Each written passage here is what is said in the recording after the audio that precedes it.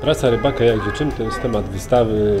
Pokazujemy od y, życia portu na makiecie multimedialnej poprzez budowę kutra, przy której stoimy. Y, można wypłynąć wirtualny rejs, później można zwiedzić sobie kuter, można zobaczyć połowy.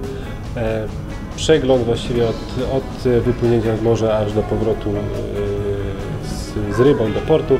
Jak wygląda praca rybaka e, współcześnie. Na zdjęciach natomiast jak to wyglądało kiedyś historycznie.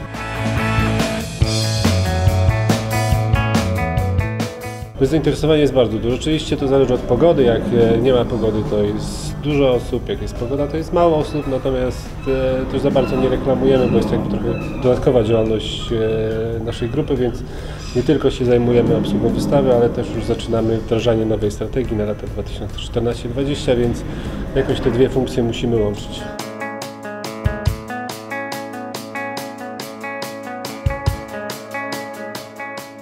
Planujemy taką salę ekologiczną o, o, o Bałtyku, o rybach, e, które zamieszkują, właśnie w takim duchu edukacji ekologicznej o, o Morzu Bałtyckim.